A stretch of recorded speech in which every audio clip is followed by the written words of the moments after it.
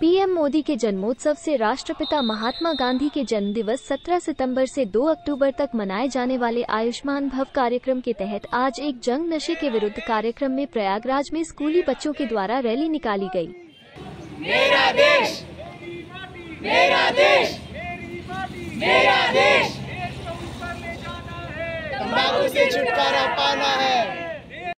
जिसमें बच्चों के द्वारा नशा मुक्त समाज बनाने और लोगों को नशे के खिलाफ जागरूक करने की शपथ लिया गया।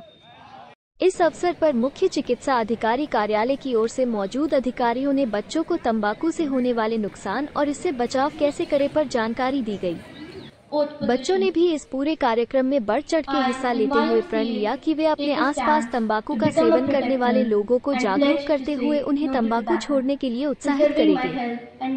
जिला नोडल अधिकारी तंबाकू नियंत्रण डॉक्टर शैलेश कुमार मौर्य ने बताया कि आज तंबाकू और अन्य माध्यमों से सबसे ज़्यादा खतरा बच्चों के स्वास्थ्य को है।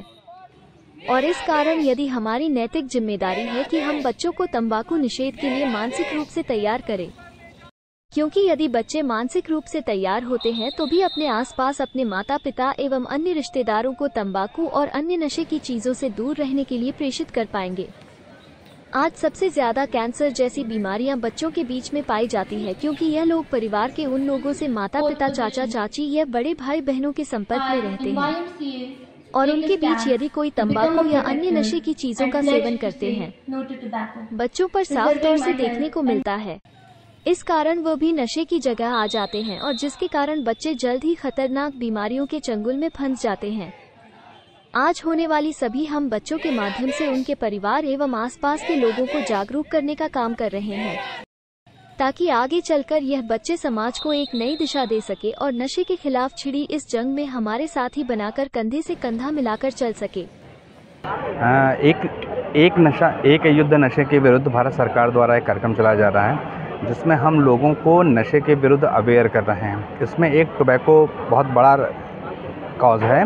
जो कि आदमी सबसे ज़्यादा इजली अवेलेबल है और सबसे ज़्यादा आदमी इसकी चपेट में रहता है।